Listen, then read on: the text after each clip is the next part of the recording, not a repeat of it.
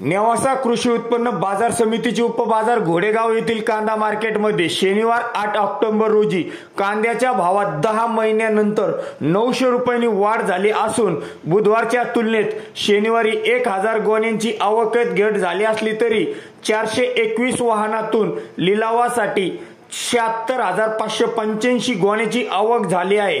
जास्तीत जास्त भाव एकतीसशे रुपये पर्यंत मिळाला. एक दोन लॉटला अठ्ठावीसशे ते एकतीसशे रुपयापर्यंत प्रति क्विंटल प्रमाणे भाव मिळाला.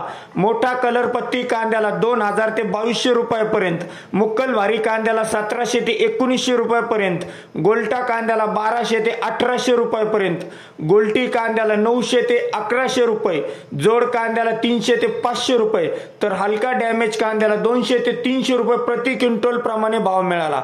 सदरचे बाजार भाव हे कृषी उत्पन्न बाजार समिती घोडेगाव यांच्या वतीने देण्यात